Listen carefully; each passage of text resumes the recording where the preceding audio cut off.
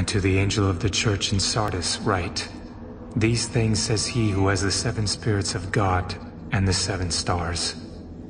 I know your works, that you have a name, that you are alive, but you are dead. Be watchful and strengthen the things which remain, that are ready to die. For I have not found your works perfect before God. Remember therefore how you have received and heard. Hold fast and repent. Therefore, if you will not watch, I will come upon you as a thief, and you will not know what hour I will come upon you.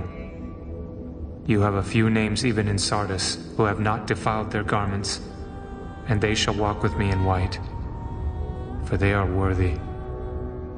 He who overcomes shall be clothed in white garments, and I will not blot out his name from the book of life, but I will confess his name before my Father and before his angels. He who has an ear, let him hear what the Spirit says to the churches. And to the angel of the church in Philadelphia write, These things says he who is holy, he who is true, he who has the key of David, he who opens and no one shuts, and shuts and no one opens. I know your works. See, I have set before you an open door, and no one can shut it. For you have a little strength, have kept my word, and have not denied my name. Indeed, I will make those of the synagogue of Satan, who said they are Jews and are not, but lie. Indeed, I will make them come and worship before your feet, and to know that I have loved you. Because you have kept my command to persevere, I also will keep you from the hour of trial which shall come upon the whole world to test those who dwell on the earth. Behold, I am coming quickly. Hold fast what you have, that no one may take your crown. He who overcomes, I will make him a pillar in the temple of my God, and he shall go out no more.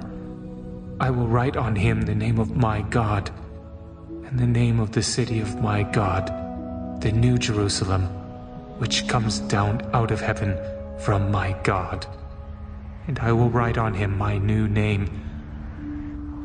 He who has an ear, let him hear what the Spirit says to the churches. And to the angel of the church of the Laodiceans write, These things says the Amen, the faithful and true witness, the beginning of the creation of God. I know your works, that you are neither cold nor hot. I could wish you were cold or hot. So then, because you are lukewarm, and neither cold nor hot, I will vomit you out of my mouth. Because you say, I am rich, have become wealthy, and have need of nothing, and do not know that you are wretched, miserable, poor, blind, and naked, I counsel you to buy from me gold refined in the fire, that you may be rich, and white garments that you may be clothed, that the shame of your nakedness may not be revealed and anoint your eyes with eye salve, that you may see. As many as I love, I rebuke and chasten. Therefore be zealous and repent.